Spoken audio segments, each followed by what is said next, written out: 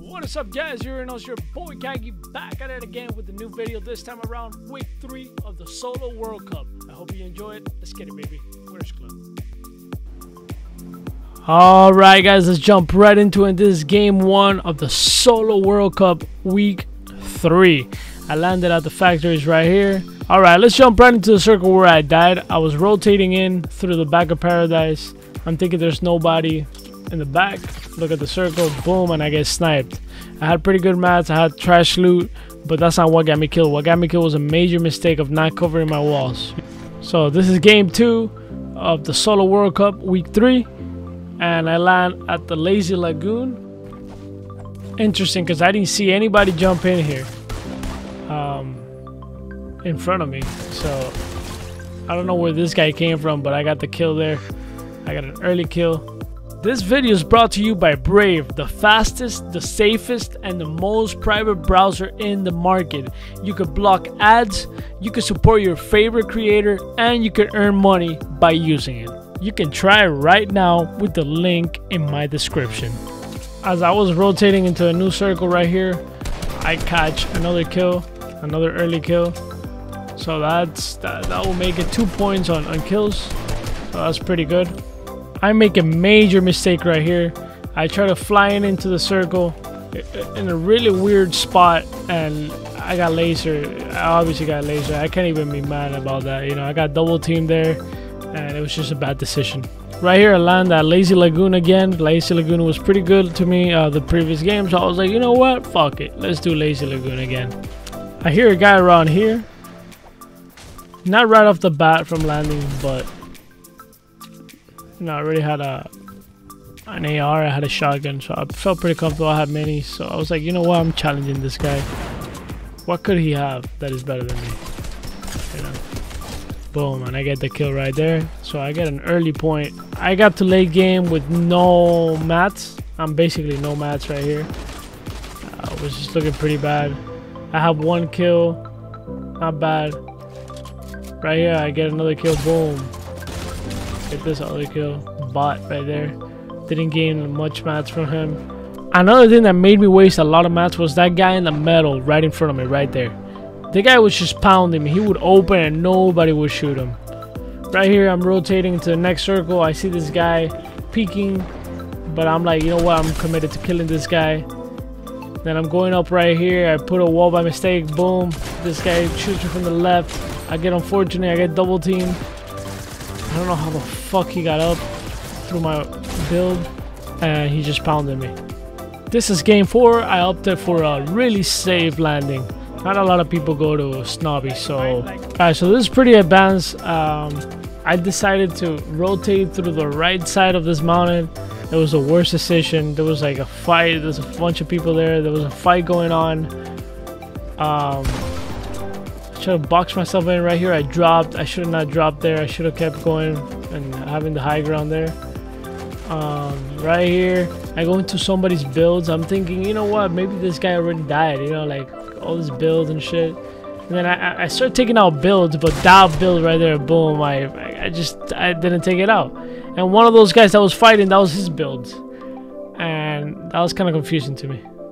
So I got fucked. So right here, I decided to go to tilt to kind of throw away this game. There's like a few games that you want to throw away, depending on the time. Um, and it's good to throw away games in the middle of the tournament. Because when you get to the end of the tournament, the last few games, everybody's just trying to get kills and trying to get points. So they risk everything. So you get top 25, top 15 easier than at the beginning of the tournament. At the beginning of the tournament, everybody's playing safe and shit like that, right? But at the end, everybody's just pushing, trying to get points. Alright, so this is game 6. I landed pretty comfortable at this location. No challenge from the beginning, so pretty good.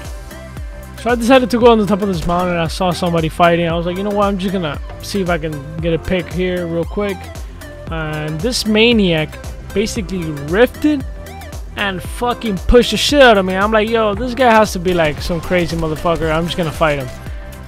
That was a mistake number one right here. I should have not risked my life with everything that I had. The good loot, good mats, good everything. I felt like this guy was cheating, honestly. He had seven kills so early, and he just came to me like he he knew he was gonna like he knew he was gonna kill me. You know, um, I felt like he was cheating. I don't have any proof. I'm just saying it, it was just a feeling. Maybe like aimbot or some shit. I don't know. So this is game seven. I liked how the last game went in terms of landing and loot. So I landed the same spot. So I get a map and I decide to go for it off the circle. I think it was worth it and it actually ends up being worth it. So, so this skill I get right here um, is pretty good. It's one of the best skills I had in the tournament in the three weeks. Just the way I did this kill, the way I little by little just took away this guy's health and I was patient about it. I never pushed him. This is the kind of playstyle that I like to play, right? He never fucking saw me. Like he never saw it coming. I was just like pounding him little by little. And although he had shield over and over, I would like, you know, he was wasting his resources. Not only mats, he was also wasting shields, so that this that's the type of way. This is the type of way you want to like get kills, not necessarily just pushing all the time. You know. I am definitely getting better. Definitely getting better. I'm pretty comfortable with how I went this tournament. I could have done way better, but still, you know, I'm I'm learning. Uh, if you see week one video, which is on my YouTube, you can guys go see it. And it's pretty trash compared to what I did in this one. This is way better. I got five points. This one I ended up with, I think, 22. My end games are looking better. My edits are looking better. My decision making is looking better. I'm just playing better overall. In, in only three weeks. It's just a matter of of training and wanting to get better.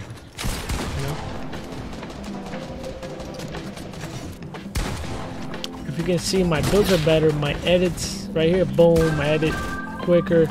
It's not super quick, but it's better than week one. So I see improvement. And that's the important thing here. Improve, improve, improve. Alright, so let's jump into game 8. I'm just to go straight into the end game right here. Alright, so I settled myself for the next circle right here. And then some guy that was next to me he pushes my walls. I, I didn't expect that, man. I, I didn't. I really didn't expect that. That was a bad thought process from me. I should have expected that, right? Get out of my ball and or just leave. I could have just gone into the storm, go, gone around. I could have done so many things. But that's one of the things I gotta work on. Close combat, taking over walls, and editing and killing person people, right? Um, that's something I really have to work on. And I actually have it written down, the things I have to work on jump into game nine. Game nine, I'm looking pretty good. I'm in end game.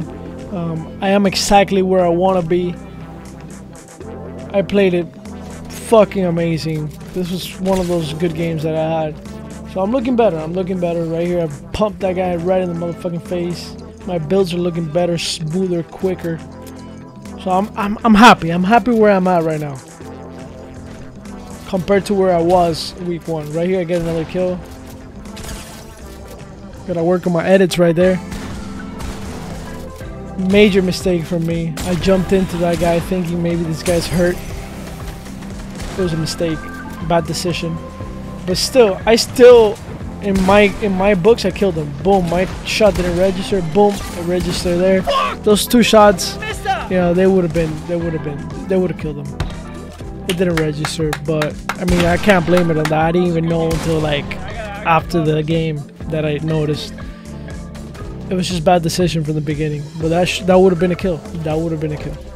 All right, so let's jump into game 10. This is uh, the first circle, and this guy's just waiting for me right here. And I just decided, you know what, bro, fuck this guy. Um, I'm just gonna fucking die to the storm. But if I can't get the kill, I'm dying to the storm. He's not getting the kill. Which is pretty unfortunate, honestly, because if I had a good game, this game 10, I would have I would have classified for sure. A good game would have classified me. I had 22 points. I think I needed like 36. You know, a good game, a 10, 12, 13 kill game, end game would have would have classified me, and I I, believed. But this guy, I, I wasn't willing to give this guy the kill, so I was like, fuck it, dude. Thank you everybody for watching week by week my improvements. I appreciate it so much. Don't forget to comment, like, and subscribe on my video. I'll see you guys next time.